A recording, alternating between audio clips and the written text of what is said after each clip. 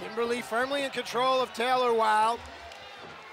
Of course, still to come tonight, Brian Myers, Matt Cardona, a rematch from Rebellion now with added stakes, a qualifier for Under Siege, and then we get to see Oh, Callihan that arm drag. and Eddie Edwards. Beautifully done there by Taylor. You can see her great footwork underneath those deep arm drags. That's a Ricky Steamboat-esque kind of arm drag, deep and uh, just, just snapping your opponent over.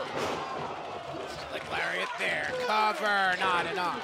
She has the strength advantage, but there's some of that lucha libre we talked about. Body scissor, roll through, Taylor stepping. What is she going for here? It looks like strong over sharp sharpshooter. No, no, I don't know. I heard some of the other knockouts talking about nice drop toe hold there. Uh, uh, Taylor Wilde has a bunch of like new, they call them kooky submissions, if you will.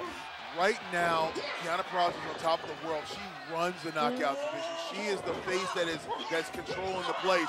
I don't know right now who can step up because Deonna has showed everyone. Whoa, whoa, She going whoa. for it here. I'm curious. Look, I love submission wrestling. I, I came up loving those kind of guys. Dean Malenko, Billy Robinson, this kind of stuff. I want to see what Taylor's trying to grab there. Oh, right there, she grabbed the bottom rope to her throat. Kimber Lee, crafty, taking Brandon oh, Toll that's for it, a walk. Susan. Wait, what the? Oh, she's got the shoe. She's got the damn shoe. And then you got a guy like Kenny Omega, who pretty much has a palace at the mountaintop, and the guy still can't even be here yet. He wants to do a celebration via Zoom. How entitled! Yeah, that that's this generation, I believe. It's oh, nice, nice clothesline. You see the way Taylor Wilde's leaning into these clotheslines? And if we're gonna do a Zoom, then let's at least make it fan-friendly. Let, let's have it be interactive. Something to the effect to help the company out, Kenny. Shoulders down here by Taylor. Almost caught, almost caught Kimber there. Now you see Taylor is just is getting, she's getting powered up. You know, she's trying to channel that that that that carnal power. Oh wow! Chin breaker there by Kimber Lee. Stuns Taylor. Smart. Kick low, kick high. Here comes this other one right to the head. We've seen it from Kimber before. No.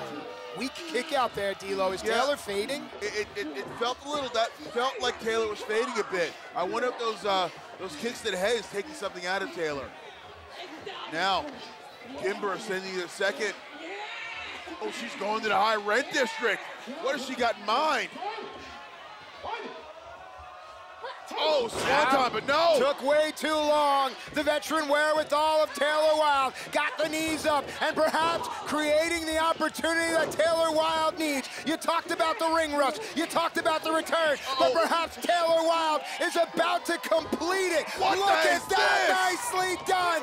Modification on an Indian deathlock and Kimber taps Wow. out. Is that a cookie submission? Here is your winner, Taylor Wilde. It is a wild thing that it made No. Kimber quit. What the hell is Sue doing? Come on. But no, Taylor said the hell with that. Now this is uh. Tenille. This it was in Tenille's match with Deonna that Taylor No. emerged at Rebellion, and now Tenille is back out. Tenille just came out and hit, hit with the, with the spotlight. But Taylor didn't ask for it, did he? No, and Taylor does not look happy at all. Oh, ladies and gentlemen, what happened at Rebellion is going to shape where we're going. May 15th, Under Siege on Impact Plus. Folks, if you don't have that app, you're missing out.